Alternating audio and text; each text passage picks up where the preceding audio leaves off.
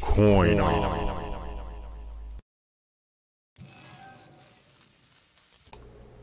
Hello YouTube, this is Robert with Coin Opp. Okay, we're going to do some reveal videos. I was requested to have some, so we're going to do it. Now, a reveal video is what we have purchased throughout coin shows here in the greater Cincinnati area.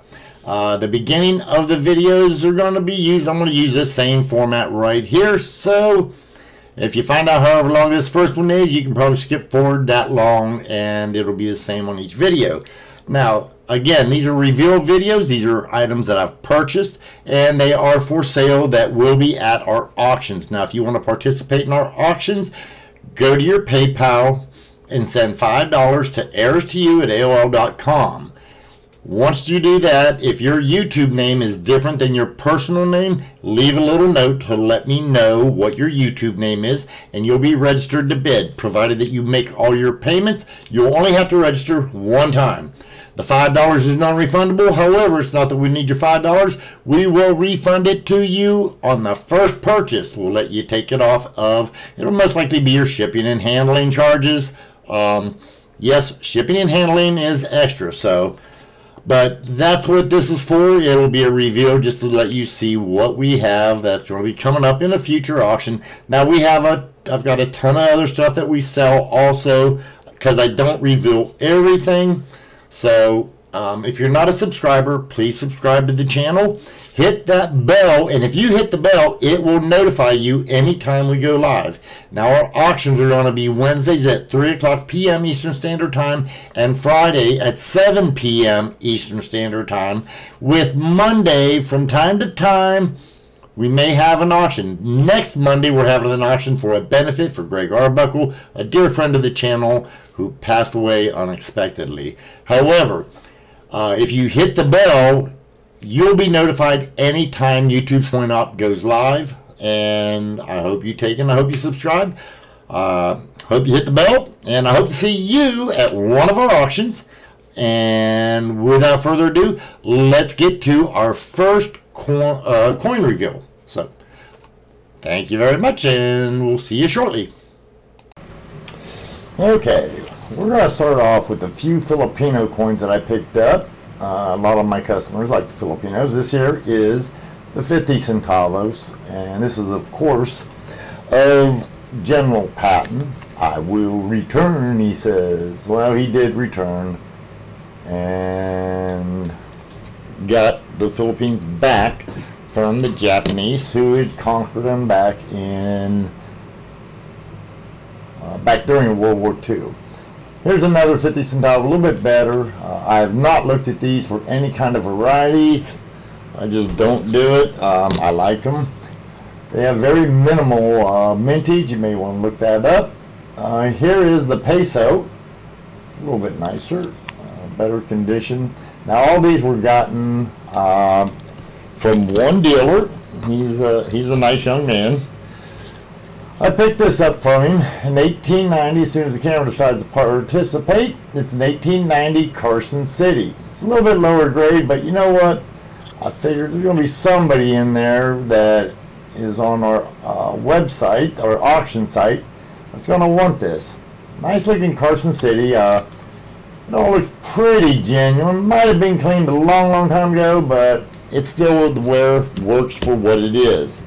Now I'm not going to show close-ups of any of these. If you want to look at the close-ups, I will show them whenever I do them at auction.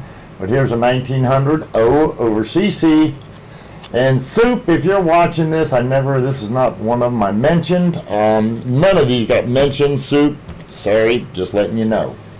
Uh, I forgot I got them actually. This is a 1884 O VAM 35. Now this in here, it is a hot 50, but it's not real, real uh, scarce. It's I2 or 3. Uh, it's a do doubled eyelid. Um, it is a VAM, but you know some people want to get all the VAMs, so good luck to them. But there you go. It is uncirculated, uh, lower grade though. But there you go. There's that one. Another word, one I've not even looked up the VAM. It's got some color. I don't know what VAM it is. It is an eight-tail feather. The color I took when I first seen it, I said it was artificially colored.